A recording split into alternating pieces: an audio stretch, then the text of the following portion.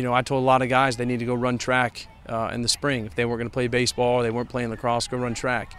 And, uh, you know, obviously lacrosse had a wonderful year. We're able to get some of those guys to come out, you know, and be uh, part of our part of our team. Scott Holmes coming off a state championship uh, uh, with the lacrosse programs coming out is going to be a big part of what we do. Um, so I think it's really been uh, a school-wide thing, just really trying to promote, you know, other other sports and, you know, celebrate the fact that we want guys to be multiple sport guys. Uh, Brooks Hollins is going to be, uh, he's a junior this year, uh, coming off a really good year for us last year. He was a sophomore, started every game for us.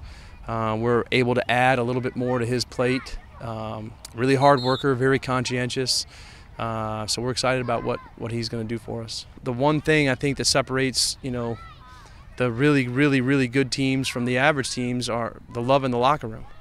And you know, it's it's kind of cheesy, but I think it's true. And I told a story the other day uh, when I first got here, 2016. You know, those seniors. Um, the one thing about those guys, they they loved each other and they were due for each other. Uh, you know, the other thing is, you know, we're just trying to really focus on us. You know, I think so many times as a coach or as a player, you know, you're spending so much time either in the past or in the future. So, you know, we go in right now as coaches, we spend all our time in the past watching film from practice.